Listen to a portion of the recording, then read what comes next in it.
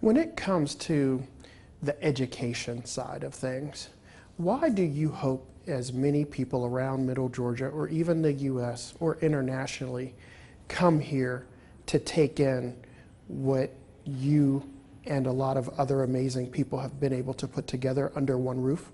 Well, obviously, as an older person now, I'm being 84, what a great joy it is to walk into the museum now and see children's groups or elderly groups really enjoying themselves and learning and having fun learning and to see their own brothers and sisters um, if they happen to be African American or black.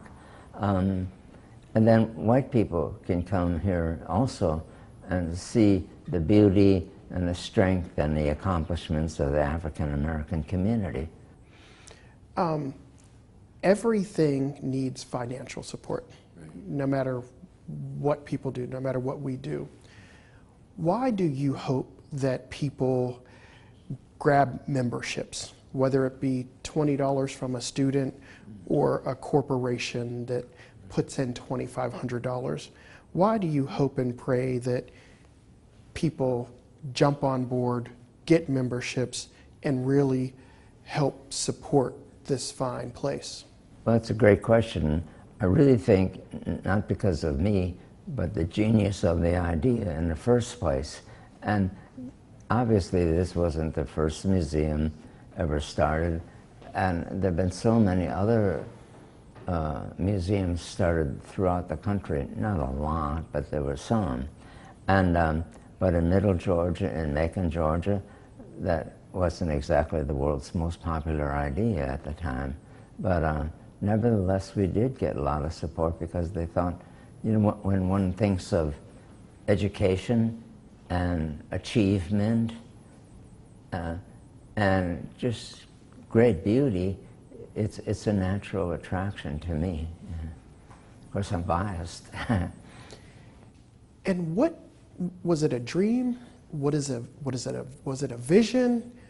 What was it, and how did it come to you to build a place like this?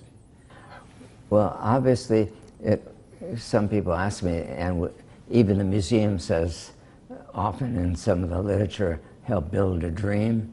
And in a way, it is a dream, but it wasn't a dream for me. It was hard work, working among people who were oppressed and terrorized every day of their life, and making a simple statement this is going to change. And um, it might sound, I'm not a very large man, and so I'm not going to beat anybody up.